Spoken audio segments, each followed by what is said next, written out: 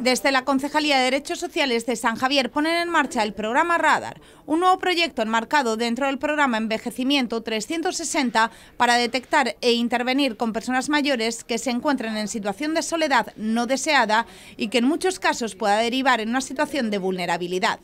Con esta iniciativa se trata de llegar a aquellas personas que están fuera del sistema porque nunca han recurrido a él, pero que puedan necesitar algún tipo de ayuda.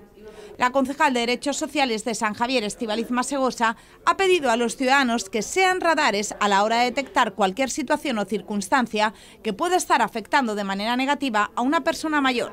Si vemos alguna conducta diferente, si lo echamos de menos porque van a la farmacia y resulta que el farmacéutico se da cuenta que esta persona mayor que frecuentaba la farmacia ya no está. Si vemos que, bueno, eh, desde el supermercado, eh, pues tal persona mayor que venía habitualmente a hacer la compra ya no viene. Pues estas cosas que detectamos simplemente en el día a día, viendo a nuestros vecinos cómo entran o salen de nuestras casas, pues si echamos de menos a alguna persona mayor, eh, desde el Ayuntamiento de San Javier y con este proyecto Radar, hemos puesto eh, un teléfono a disposición para todos los vecinos para que nos hagan eh, de voz de alarma de estas situaciones de vulnerabilidad que puedan estar pasando las personas mayores. La concejalía ha puesto a disposición de este programa un teléfono, el 670-867-044, y el correo personasmayores@sanjavier.es, donde los ciudadanos pueden contactar e informar de cualquiera de estas situaciones con un mayor y facilitar la intervención de los servicios sociales.